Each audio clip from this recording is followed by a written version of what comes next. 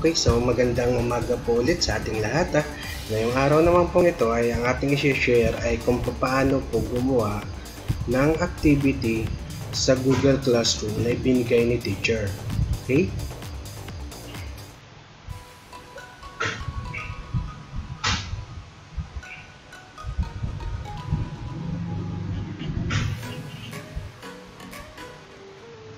So, therefore, narito na po tayo ngayon sa ating uh, Google account. Ano po? And then, let us open uh, the classroom, the Google Classroom. Makikita po ito doon sa siyam na tuldok dito sa gawing uh, kanan ng ating screen. Okay? The right side. So, click the, the classroom. Okay? So, ito po yung ating mga klase.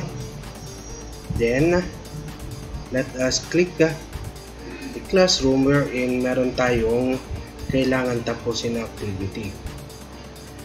So, nakikita nyo po yung interface ng mga bata. So, ako po ay nag-play as a role ng isang estudyante. Okay? So, dito po, let us click the view all dun po sa ating stream view all. Okay. So makikita nyo po dito sa view L kung ano po yung mga activity na naka-assign sa atin.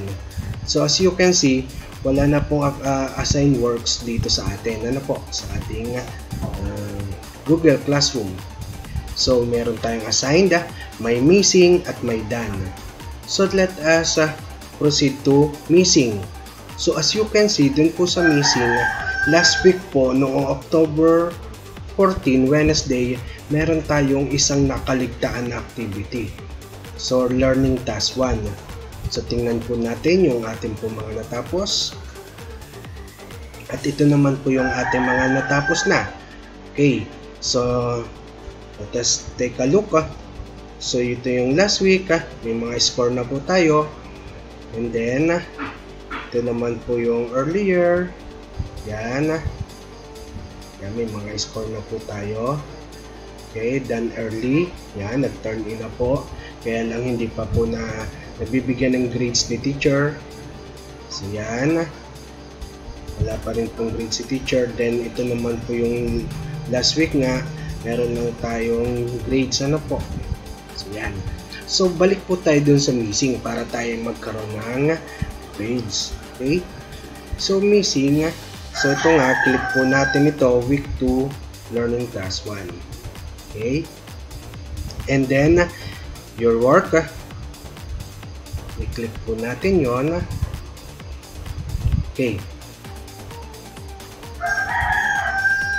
So this time po, kung mapapansin nyo, ang ibinigay ni teacher ay isang template na ang gamit ay Google Slides or G Slides. Ano po?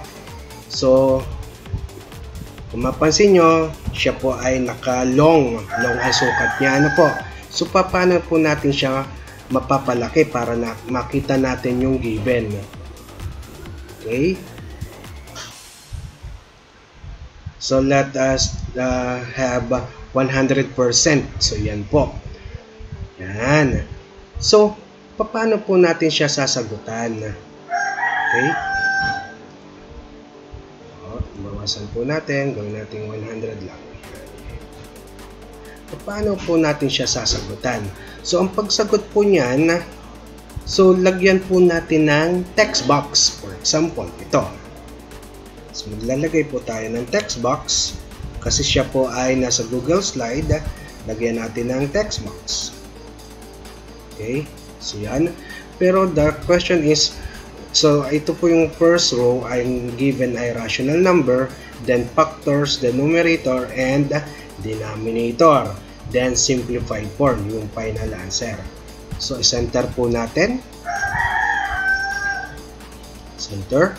So, ano ang factors ng 9m plus 9n? So, pwedeng 9, then we have m plus n Since siya po ay fraction, so lagyan natin ng fraction bar. Pwedeng control U, underline, ano po. Then enter. Okay, so alisin na natin yung underline. So we have 9 times the quantity of R minus S. Okay, so yan. So yun po yung ating factors ng numerator and denominator.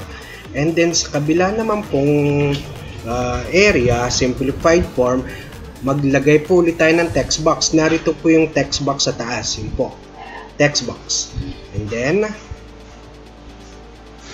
yan. Okay. Then, center po ulit natin. Okay. So, simplified form. So, ibig sabihin, makakancel dyan ng 9 and uh, 9 sa taas at 9 sa baba. Yung ating uh, uh, what we call this the greatest common factor ano ha? Okay then control B. So control A control C then control B. Yun so po yung sagot natin ano? So tanggalin lang natin yung 9 tsaka yung parenthesis pwede na rin alisin. Okay. So therefore our final answer ay masasabi natin na 9 plus m plus n and r minus s. So yun po yung simplified form okay and then So, ito na po yung ating sagot. Ah. Ano po? So, ito yung ating magiging sagot. Ah. Then, after that, ah, ay atin na pong ita-turn in. Ano po? Ita-turn in na po natin. Okay? So, one attachment will be submitted for week 2. So, turn in. So, yun. So, yun na po ang magiging sagot natin sa ating teacher. Ano po? So, pag ikinilik po natin yan, pansin nyo, naroon na po yung sagot natin. At iyon po ang makikita ni teacher. Okay? So, I understand. Okay po? So, yun na po. So, task po natin. View only lang po yan. So, yan. View only. So, hindi po siya pwedeng ma-edit ni teacher. At yun na po yung magiging output natin sa activity ito. Okay, so balik po tayo sa ating pong Google Classroom. So, kung mapapansin nyo po, i-click po natin yung view all. Then, yung missing, wala na po. At iyon po ay napapunta na dito sa ating uh, last week yon week 2 learning task learning task ano nga po to? Learning task so ito learning task 1 so learning task 1 yun po. Week 2 learning task 1 at napansin nyo done late po siya. Ano po? So yun yung mag makikita ni teachers sa ating sa kanyang Google Classroom. At ito naman po yung interface sa ating Google Classroom. So, sana po nakatulong itong video na to para sa inyo uh, sa ating online classes kung paano tayo mag-submit kay teacher ng ating activity. Maraming salamat!